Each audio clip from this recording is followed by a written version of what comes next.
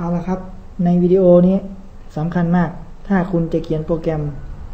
เพื่อสร้างไอ้พวก Database Client โปรแกรมนี้ที่ผมกำลังจะพาเขียนเนี่ย เราจะเจาะเข้าไปในคอลัมน์ของ Database ตัวนั้นของ Table นั้น ว่าเอ๊ะมันมีไอ้คอลัมน์เนี่ย อะไรบ้างนะ เราจะไป access คอลัมน์มัน อ่า สมมติออนี้เอางี้เอางี้เดี๋ยวเดี๋ยวนะสมมติเลย คุณมี table ตัวหนึ่งคุณไม่รู้หรอกมันมีคอลัมน์อะไรมั่ง คุณไม่รู้ คุณไม่ใช่คนสร้าง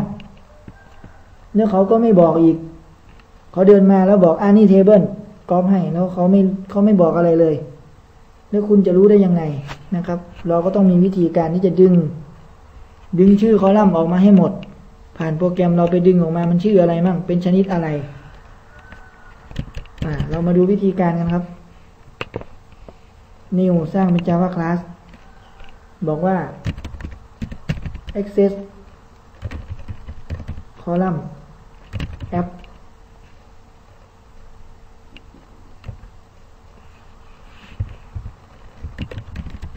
import java.sql เข้ามา เขียน try cat แล้วก็โหลดคลาส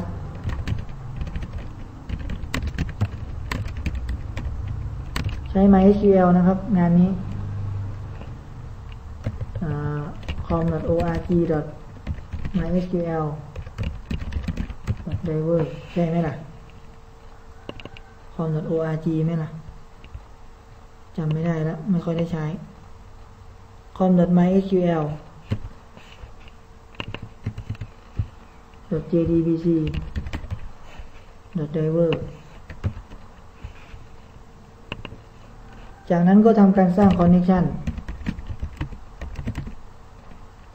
เดี๋ยวผมสร้าง URL ก่อน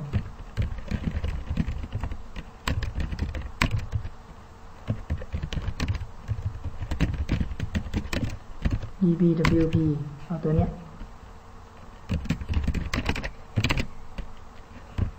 driver manager dot get connection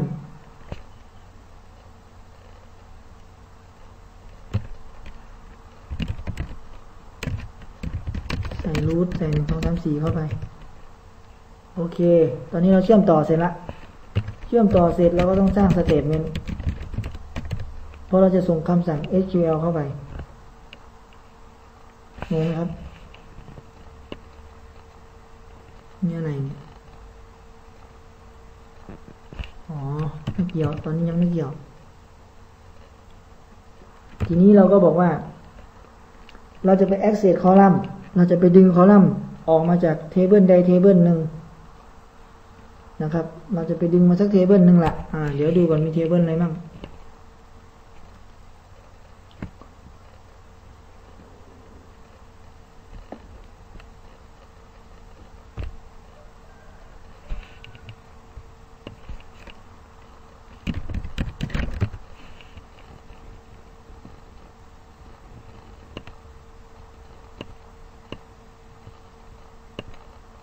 ผมจะเข้ามาไอ้ database ตัวนี้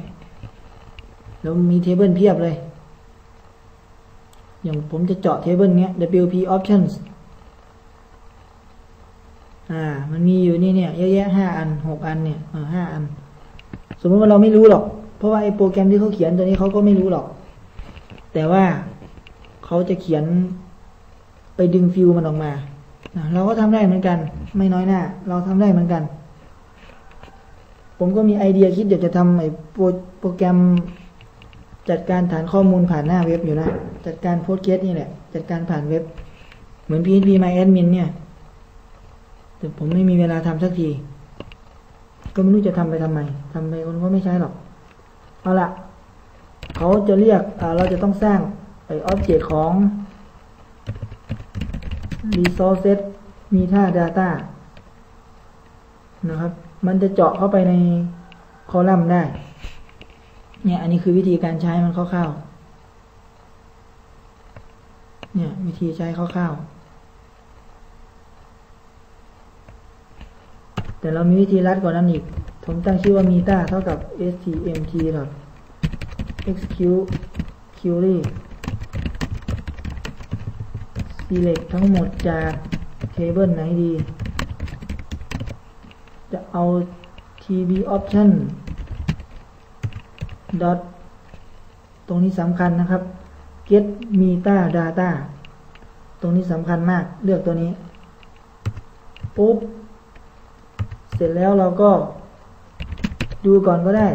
ว่ามันมีกี่คอลัมน์ get คอลัมน์เขาอ่า ดูก่อนว่ามีกี่คอลัมน์เนี่ยผมบอกเมื่อกี้มีอยู่หนึ่งสอง สามสี่ห้ามีห้าอันเนี่ย มาดูว่าได้ห้าอันจริงหรือเปล่า รัน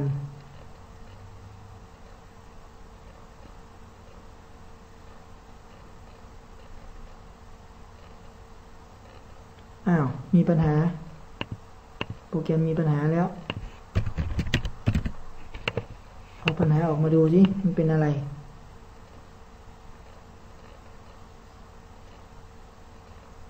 บอกว่า MySQL syntax error exception table tbwp tb options ไม่มี ไม่มี table ชื่อนี้ มันชื่อ wp option อ๋อชื่อผิดไป โอเค wp มันรันใหม่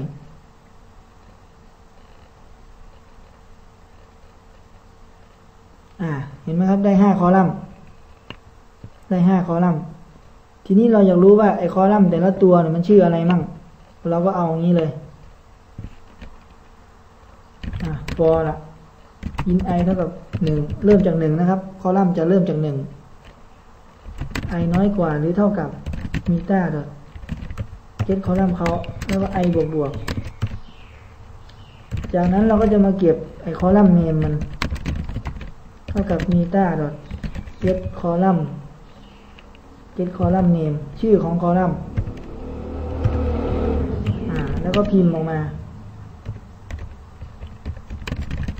พิมพ์คอลัมน์ name ออกมา อะไรผิด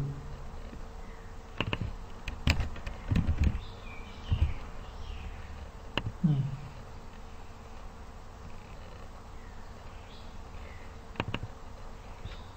ก๊อปวางจะผิดไหม ไม่ผิด รันครับคราวนี้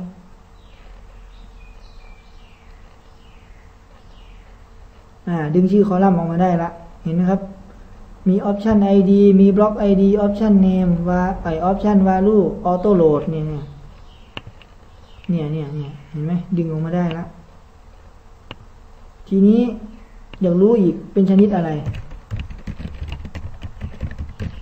คอลัมน์ไทเท่ากับ meta dot get column type name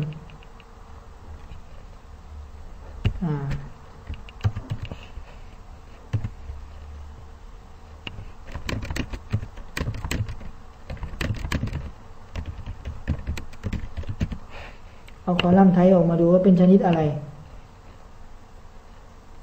อย่างที่เขาทำมันบอกว่าเป็น big int เป็น int เป็นวาชา เป็น long text ป็นวาชายี่สิบอะไรพวกเนี้ย เราก็ทำได้เหมือนกัน นี่ไง เห็นไหมเป็น big int เป็น int เป็นวาชาวาชา อ่าเห็นไหมแต่เราไม่รู้ว่า เอ๊ะมันเก็บได้กี่ตัวอย่างเงี้ยเขารู้ว่าเก็บได้สิบเอ็ดตัวยี่สิบตัวใช่ไหมทำได้เหมือนกันครับ ไม่แพ้หรอก JDBC สักอย่างคอลัมน์เล็งเท่ากับ meta dot get ไหนล่ะ display size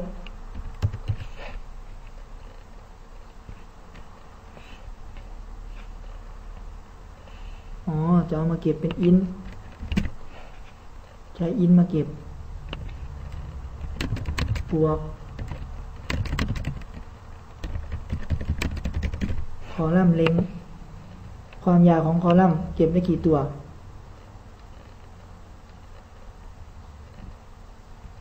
นี่เก็บได้ยี่สิบสิบเอ็ดหกสิบสี่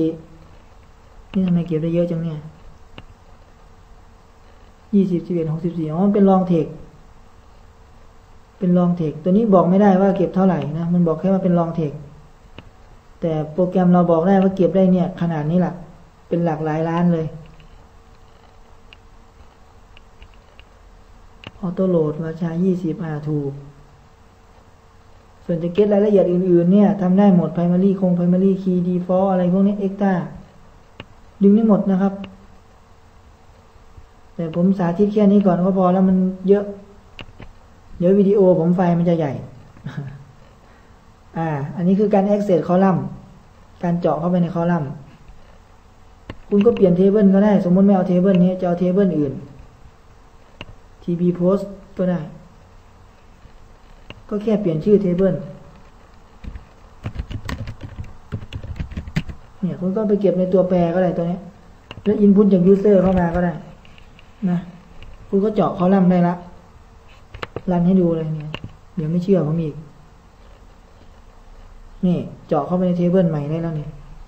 คอลัมน์มันเพียบเลย อันนี้ก็จะเป็นพวกโปรแกรม DBMS ทั้งหลายที่เขาจะเขียนกันก็จะ ทำตัว client ก็จะใช้ลักษณะคำสั่งประมาณอย่างนี้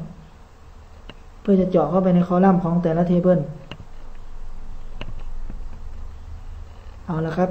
หลายๆ คนคงจะได้ไอเดียดี ๆ จากการนำเสนอครั้งนี้ของผม